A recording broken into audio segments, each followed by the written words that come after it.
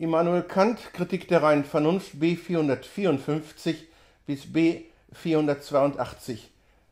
Dieter Hartrup liest. Die Antinomie der reinen Vernunft, erster Widerstreit der transzendentalen Ideen. Thesis. Die Welt hat einen Anfang in der Zeit und ist auch dem Raume nach in Grenzen eingeschlossen. Beweis. Den nehme man an, die Welt habe der Zeit nach keinen Anfang, so ist bis zu jedem gegebenen Zeitpunkt eine Ewigkeit abgelaufen und mithin eine unendliche Reihe aufeinanderfolgender Zustände der Dinge in der Welt verflossen. Nun besteht aber eben darin die Unendlichkeit einer Reihe, dass sie durch sukzessive Synthesis niemals vollendet sein kann. Also ist eine unendliche verflossene Weltreihe unmöglich, mithin ein Anfang der Welt eine notwendige Bedingung ihres Daseins, welches zuerst zu beweisen war. Beim zweiten nehme man wiederum das Gegenteil an so wird die Welt ein unendliches gegebenes Ganzes von sogleich existierenden Dingen sein. Nun können wir die Größe eines Quantums, welches nicht innerhalb gewisser Grenzen jeder Anschauung gegeben wird, auf keine andere Art als nur durch die Synthesis der Teile und die Totalität eines solchen Quantums nur durch die vollendete Synthesis oder durch wiederholtes Hinzusetzen der Einheit zu sich selbst denken. Demnach, um sich die Welt, die alle Räume erfüllt, als ein Ganzes zu denken, müsste die sukzessive Synthesis der Teile einer unendlichen Welt als vollendet angesehen, das heißt eine unendliche Zeit müsste in der Durchzählung aller koexistierenden Dinge als abgelaufen angesehen werden, welches unmöglich ist. Demnach kann ein unendliches Aggregat wirklicher Dinge nicht als ein gegebenes Ganzes, mithin auch nicht als zugleich gegeben angesehen werden. Eine Welt ist folglich der Ausdehnung im Raume nach nicht unendlich, sondern in ihren Grenzen eingeschlossen, was das zweite war. Ein Thesis. Die Welt hat keinen Anfang und keine Grenzen im Raum, sondern ist sowohl der Zeit als dem Raum nach unendlich. Beweis. Denn man setze, sie habe einen Anfang. Da der Anfang ein Dasein ist, wovor eine Zeit vorhergeht, darin das Ding nicht ist, so muss eine Zeit vorhergegangen sein, darin die Welt nicht war, das heißt eine leere Zeit. Nun ist dabei in einer leeren Zeit kein Entstehen irgendeines Dinges möglich, weil kein Teil einer solchen Zeit vor einem anderen irgendeine unterscheidende Bedingung des Daseins vor die des Nichtseins an sich hat. Man mag annehmen, dass sie sich von selbst oder durch eine andere Ursache entsteht. Also kann zwar in der Welt manche Reihe von Dingen anfangen, die Welt selber aber kann keinen Anfang haben und ist also wegen der vergangenen Zeit unendlich. Was das zweite betrifft, so nehme man zuerst das Gegenteil an, dass nämlich die Welt dem Raume nach endlich und begrenzt ist, so befindet sie sich in einem leeren Raum, der nicht begrenzt ist. Es würde also nicht allein ein Verhältnis der Dinge im Raum, sondern auch der Dinge zum Raume angetroffen werden. Da nun die Welt ein absolutes Ganzes ist, außer welchem kein Gegenstand der Anschauung und mit dem kein Korrelat der Welt angetroffen wird, B 457, worin die Welt im Verhältnis steht, so würde das Verhältnis der Welt zum leeren Raum ein Verhältnis der Welt zu keinem Gegenstand sein. Ein solches Verhältnis aber, mit dem auch die Begrenzung der Welt durch den leeren Raum ist nichts. Also ist die Welt dem Raume nach nicht begrenzt, das heißt, sie ist der Ausdehnung nach unendlich. A. Wir können ein unbestimmtes Quantum als ein Ganzes anschauen, wenn es in Grenzen eingeschlossen ist, ohne seine Totalität durch Messung, das heißt die sukzessive Synthesis seiner Teile B456 konstruieren zu dürfen. Denn die Grenzen bestimmen schon die Vollständigkeit, indem sie alles weitere abschneiden. B458 b. Der Begriff der Totalität ist in diesem Falle nichts anderes als die Vorstellung der vollendeten Synthesis seiner Teile, weil, da wir nicht mit der Anschauung des Ganzen, was in diesem Falle unmöglich ist, den Begriff bilden können, wir diesen nur durch die Synthesis der Teile bis zur Vollendung des Unendlichen in der Idee fassen können. B 457 C. Der Raum ist bloß die Form der äußeren Anschauung, die formale Anschauung, aber kein wirklicher Gegenstand, der äußerlich angeschaut werden kann. Der Raum vor allen Dingen, die ihn bestimmen, erfüllen oder begrenzen oder die vielmehr eine seiner formgemäße empirische Anschauung geben, ist unter dem Namen des absoluten Raumes nichts anderes als die bloße Möglichkeit äußerer Erscheinungen, insofern sie entweder an sich existieren oder zu gegebenen Erscheinungen noch hinzukommen können. Die empirische Anschauung ist also nicht zusammengesetzt aus Erscheinungen und dem Raum, aus der Wahrnehmung und der leeren Anschauung. Eines ist nicht des anderen Korrelat der Synthesis, sondern nur in einer und derselben empirischen Anschauung verbunden, als ihre Materie und Form. Will man eines dieser zwei Stücke außer dem anderen setzen, den Raum außerhalb aller Erscheinungen, so entstehen daraus allerlei leere Bestimmungen der äußeren Anschauung, die jedoch keine möglichen Wahrnehmungen sind. Zum Beispiel Bewegung oder Ruhe der Welt im unendlich leeren Raum, eine Bestimmung des Verhältnisses beider untereinander, welche niemals wahrgenommen werden kann und also auch das Prädikat eines bloßen Gedankendinges ist. B 462 Der Antinomie der reinen Vernunft, zweiter Widerstreit der transzendentalen Ideen, Thesis. Eine jede zusammengesetzte Substanz in der Welt besteht aus einfachen Teilen, und es existiert überall nichts als das Einfache oder das, was aus diesem zusammengesetzt ist. Beweis. Denn nehmt an, die zusammengesetzten Substanzen beständen nicht aus einfachen Teilen, so würde, wenn alle Zusammensetzung in Gedanken aufgehoben würde, kein zusammengesetzter Teil und, da es keine einfachen Teile gibt, auch kein einfacher Teil mit in gar nichts übrig bleiben, folglich keine Substanz sein kann. Entweder also lässt sich unmöglich alle Zusammensetzungen in Gedanken aufheben, oder es muss nach dem Aufheben etwas ohne alle Zusammensetzung Bestehendes, das heißt das Einfache, übrig bleiben. Im ersten Fall aber würde das Zusammengesetzte wiederum nicht aus Substanzen bestehen, weil bei diesen die Zusammensetzung nur eine zufällige Relation der Substanzen ist, ohne welche diese als für sich beharrliche Wesen bestehen müssen. B 464 Da nun dieser Fall der Voraussetzung widerspricht, so bleibt nur der zweite übrig, dass nämlich das substanzielle Zusammengesetzte in der Welt aus einfachen Teilen besteht. Hieraus folgt unmittelbar, dass die Dinge der Welt insgesamt einfache Wesen sind, dass die Zusammensetzung nur ein äußerer Zustand von ihnen ist und dass, wenn wir die Elementarsubstanzen noch niemals völlig aus diesem Zustand der Verbindung setzen und isolieren können, doch die Vernunft sie als die ersten Subjekte aller Komposition und mithin vor ihr als einfache Wesen denken muss. B 463 Antithesis kein zusammengesetztes Ding in der Welt besteht aus einfachen Teilen und es existiert überall nichts Einfaches in der Welt. Beweis.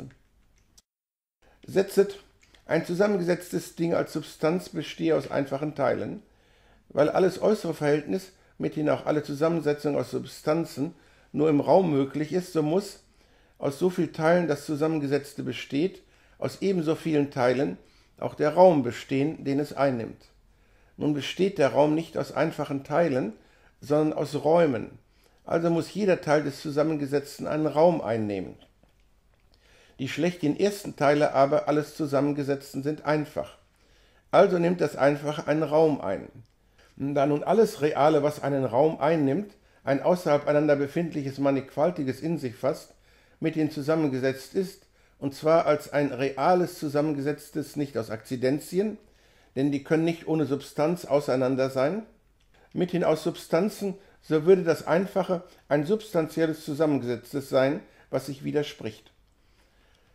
Der zweite Satz der Antithesis, dass in der Welt gar nichts Einfaches existiere, soll hier nun so viel bedeuten als B 465 es könne das Dasein des schlechthin Einfachen aus keiner Erfahrung oder Wahrnehmung, weder äußeren noch inneren dargetan werden, und das schlechthin Einfache sei also eine bloße Idee, deren objektive Realität niemals in irgendeiner möglichen Erfahrung dargetan werden kann, mithin in der Exposition der Erscheinungen ohne alle Anwendung und Gegenstand ist.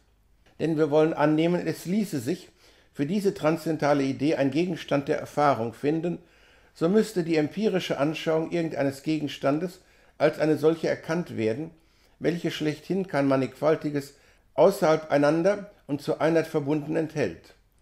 Da nun von dem Nichtbewusstsein eines solchen mannigfaltigen auf seine gänzliche Unmöglichkeit in irgendeiner Anschauung eines Objekts kein Schluss gilt, dieses letztere aber zur absoluten Simplizität durchaus nötig ist, so folgt, dass diese aus keiner Wahrnehmung, welche sie auch sei, geschlossen werden kann. Da also etwas als ein schlechthin einfaches Objekt niemals in irgendeiner möglichen Erfahrung gegeben werden kann, die Sinnenwelt aber als die Summe aller möglichen Erfahrungen angesehen werden muss, so ist überall in ihr nichts Einfaches gegeben.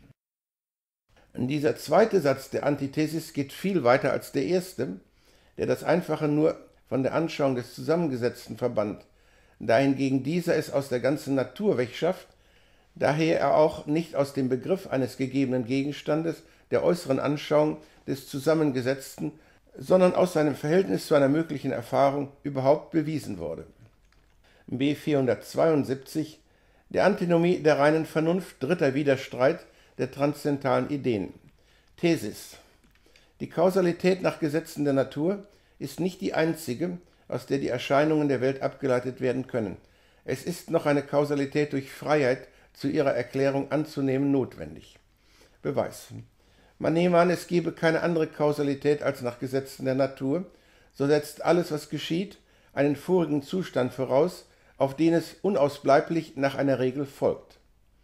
Nun muss aber der vorige Zustand selbst etwas sein, was geschehen ist. Es muss in der Zeit geworden sein, da es vorher nicht war, weil, wenn es jederzeit gewesen wäre, seine Folge nicht erst entstanden, sondern immer gewesen sein würde.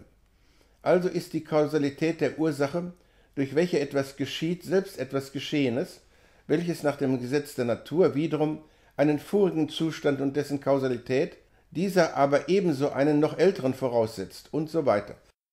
Wenn also alles nach bloßen Gesetzen der Natur geschieht, so gibt es jederzeit nur einen subalternen, niemals aber einen ersten Anfang, B 474, und also überhaupt keine Vollständigkeit der Reihe auf der Seite der voneinander abstammenden Ursachen. Nun besteht aber eben darin das Gesetz der Natur, dass ohne hinreichend a priori bestimmte Ursache nichts geschieht. Also widerspricht sich der Satz, nachdem alle Kausalität nur nach Naturgesetzen möglich sei, selbst in seiner unbeschränkten Allgemeinheit, und diese Kausalität kann also nicht als die einzige angenommen werden. Demnach muss eine Kausalität angenommen werden, durch welche etwas geschieht, ohne dass die Ursache davon noch weiter durch eine andere Ursache nach notwendigen Gesetzen bestimmt ist. Das heißt eine absolute Spontanität der Ursachen, eine Reihe von Erscheinungen, die nach Naturgesetzen läuft, von selbst anzufangen, mithin transzendentale Freiheit, ohne welche im Laufe der Natur die Reihenfolge der Erscheinungen auf der Seite der Ursachen niemals vollständig ist. Im B 473 Antithesis. Es ist keine Freiheit, sondern alles in der Welt geschieht lediglich nach Gesetzen der Natur. Beweis? Nehmt an, es gebe eine Freiheit im transzendentalen Verstande als eine besondere Art von Kausalität, nach welcher die Begebenheiten der Welt erfolgen könnten, nämlich ein Vermögen, einen Zustand, mithin auch eine Reihe von Folgen des Zustandes schlechthin anzufangen.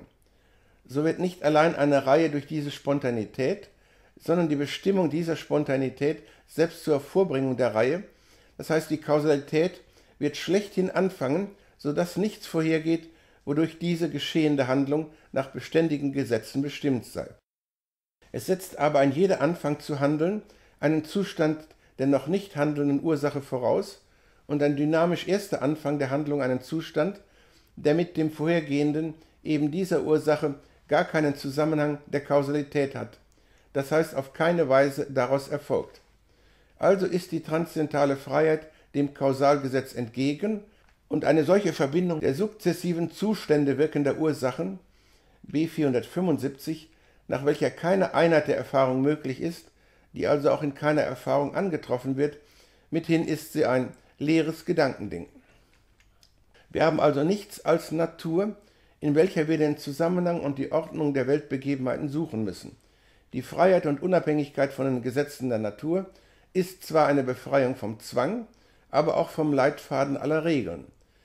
Denn man kann nicht sagen, dass anstatt der Gesetze der Natur die Gesetze der Freiheit in die Kausalität des Weltlaufs eintreten, weil wenn diese nach Gesetzen bestimmt wäre, sie nicht Freiheit, sondern selbst nichts als Natur wäre. Natur also und transzendentale Freiheit unterscheiden sich wie Gesetzmäßigkeit und Gesetzlosigkeit, davon die Gesetzmäßigkeit zwar den Verstand mit der Schwierigkeit belästigt, die Abstammung der Begebenheiten in der Reihe der Ursachen immer höher hinauf zu suchen, weil die Kausalität an ihnen jederzeit bedingt ist, aber zur Schadloshaltung durchgängige und gesetzmäßige Einheit der Erfahrung verspricht, dahingegen das Blendwerk von Freiheit zwar dem forschenden Verstande in der Kette der Ursachen etwas Ruhe verheißt, indem sie ihn zu einer unbedingten Kausalität führt, die von selbst zu handeln anhebt, die aber, da sie selbst blind ist, den Leitfaden der Regeln abreißt, an welchem allein eine durchgängig zusammenhängende Erfahrung möglich ist. B 480 Der Antinomie der reinen Vernunft vierter Widerstreit der transzendentalen Ideen. Thesis Zu der Welt gehört etwas, das entweder als ihr Teil oder ihre Ursache ein schlechthin notwendiges Wesen ist. Beweis Die Sinnenwelt als das Ganze aller Erscheinungen enthält zugleich eine Reihe von Veränderungen, denn ohne diese würde selbst die Vorstellung der Zeitreise als einer Bedingung der Möglichkeit der Sinnenwelt uns nicht gegeben sein. Eine jede Veränderung aber steht unter ihrer Bedingung, die der Zeit nach vorhergeht und unter welche sie notwendig ist.